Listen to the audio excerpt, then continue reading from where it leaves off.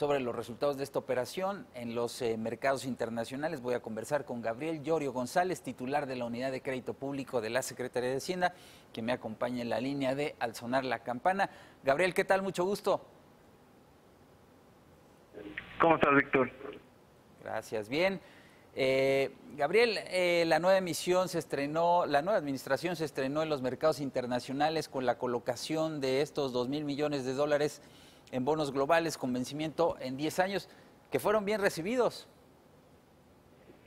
Sí, fueron bastante bien recibidos. Eh, después de estar en comunicación con, con los inversionistas, de hecho tuvimos un non-deal roadshow la semana pasada en Nueva York, recogimos un poco el sentimiento que los inversionistas extranjeros tenían hacia hacia el país eh, y decidimos decidimos salir al mercado internacional con esta emisión es un, un bono soberano de dos mil dos mil millones de, de dólares eh, a 10 años y fue bastante bien recibido. El spread que pagamos es uno de los más bajos en los últimos años que ha pagado también este otros soberanos. Por ejemplo, días anteriores salió Uruguay y otros países también.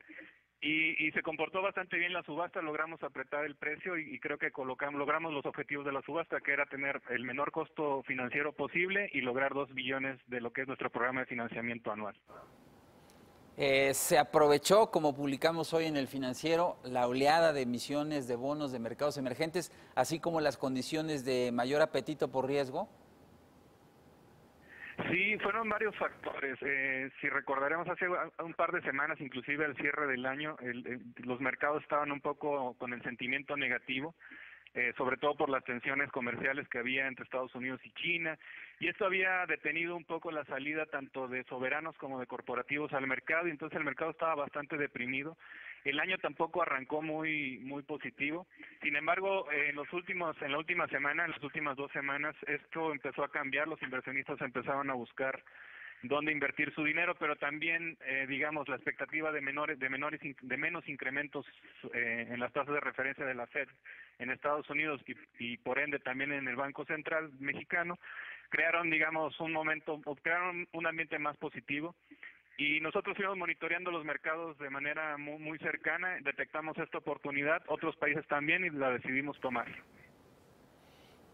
el diferencial con la tasa de los bonos del Tesoro a 10 años es de 185 puntos base, es decir, 50 puntos base por arriba de la última emisión del gobierno anterior que fue en enero de 2018. Hay un aumento. ¿A qué obedece?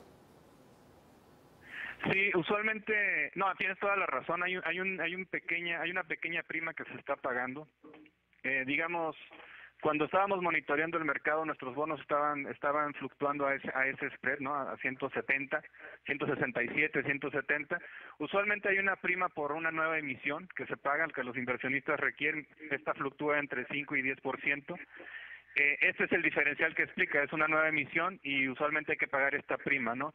Pero a mí me gustaría resaltar que eh, se esperaba que el bono, que los bonos globales mexicanos estuvieran pagando alrededor de 210 puntos base, eh, sobre todo por un poco por, por la incertidumbre que se había generado en los mercados.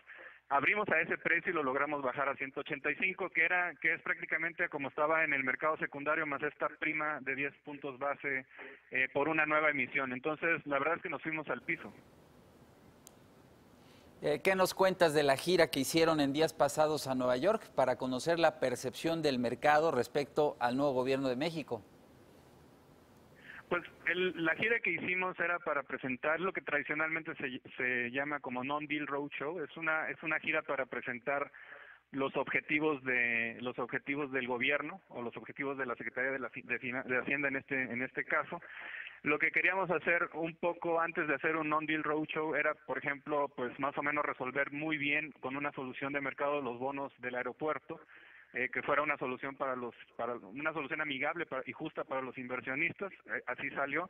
Pero también queríamos tener ya presentado el, el presupuesto de el presupuesto del año 2019 queríamos mandar una señal de que era un presupuesto conservador, responsable, que mantenía la senda de deuda constante y eso fue lo que fuimos a presentar también a, en, el, en esta gira.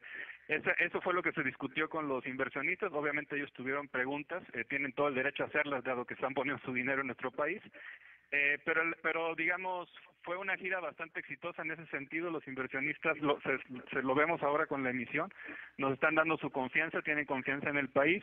Estamos mandando una señal de finanzas sanas, equilibradas y con una deuda controlada. Y esa es esa es mi percepción. ¿Se seguirán aprovechando las ventanas de oportunidad para salir a los mercados globales, a colocar deuda y hacer operaciones de refinanciamiento?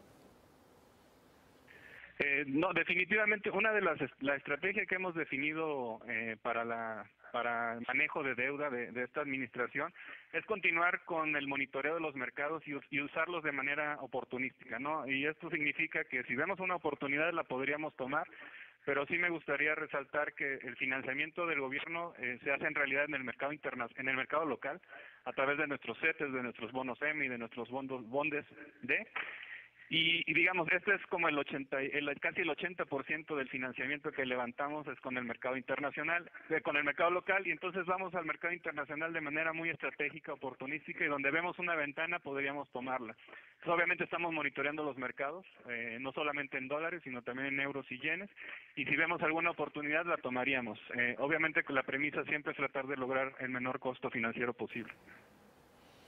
Bien, Gabriel Llorio, muchas gracias por esta información. Saludos.